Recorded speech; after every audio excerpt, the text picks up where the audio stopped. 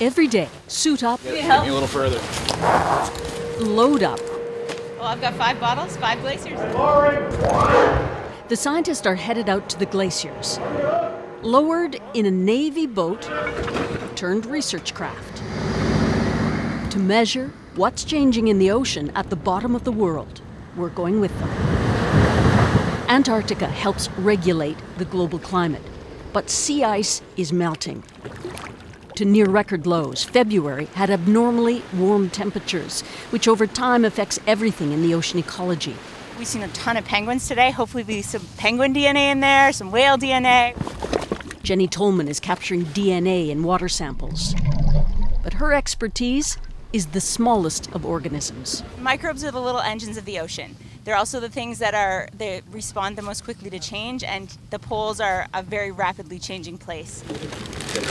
But collecting samples can be tricky work. Tia Anderlini is studying trace metals, reaching out to scoop up seawater. I was using a really long pole, basically to uh, avoid contamination from the boat itself. Woohoo! And at sea, things just happen. Ooh, I dropped it. A plastic lid slipped into the ocean. Can you look over and see if there's a cap floating under the boat? But within minutes, Retrieved. it's been recovered. Glaciers are retreating in the Antarctic Peninsula more rapidly than before. The depth is 51 meters.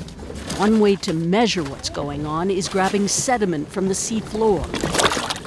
Jeremy Bentley lets down a large claw to the depths and then hand over hand hauls it back up to deliver a muddy mass.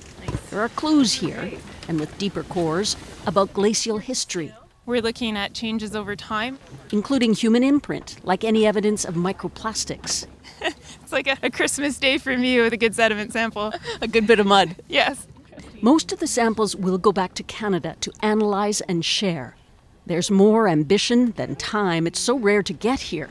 The challenge is worth it. It's a great day for samples from glaciers from here. You got everybody? Here. Day's end, it's back to the mother ship with a bit of Antarctic scientific treasure to advance our understanding of what's happening to our climate. Susan Ormiston, CBC News in Admiralty Bay, Antarctica.